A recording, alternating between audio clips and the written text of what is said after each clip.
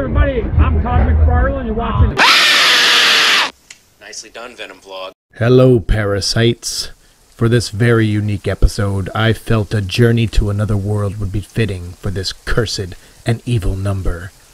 Over the last few years, we have discussed a character called the Maker in Donny Cates and Ryan Stegman's Venom run.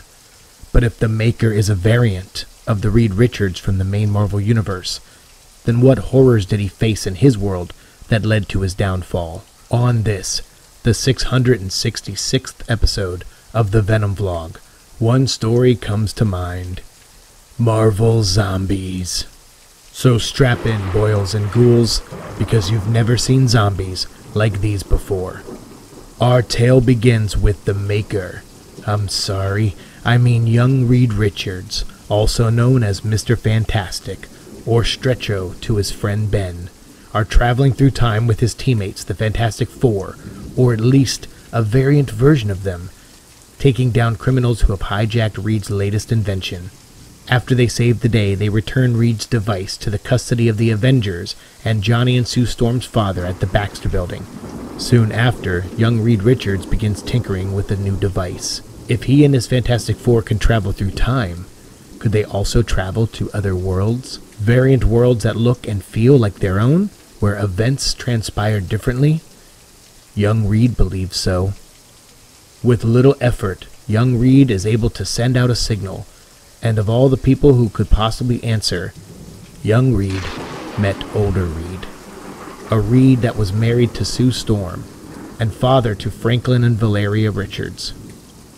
A Reed much like the one we know in the main Marvel Universe. Young Reed finished his device with the help of older Reed and used it to travel to a new Earth. This is when things go to hell. Quickly. Older Reed wasn't what he appeared. In fact, he himself was a zombie. A mad scientist who, instead of trying to cure the rare virus that fell from space and devoured his world and his children, decided to inject his teammates, his wife, and join a new evolutionary form as the Frightful Four. Young Reed teamed up with Variant Magneto and others, narrowly escaping the zombie world with a few survivors and a few strays. But the events on that world didn't stop just because young Reed and his Fantastic Four got away. Magneto stayed behind to destroy the machine before getting ripped apart by the zombie horde. On this Earth, things went very badly for the heroes when the virus touched down on their planet. Spider Man was infected early, turning on his family and eating Mary Jane and Aunt May. No one was immune to the virus.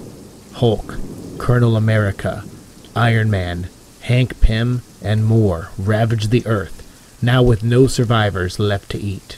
Or so they thought. T'Challa survived, barely, as did Magneto's acolytes on Asteroid M.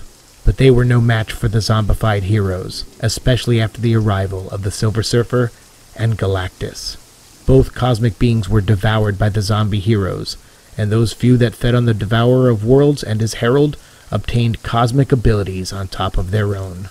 A zombie civil war broke out as they fought over the last bit of food on their planet. Zombie Spider Man, now with cosmic powers, battled his enemy, Zombie Venom, and won.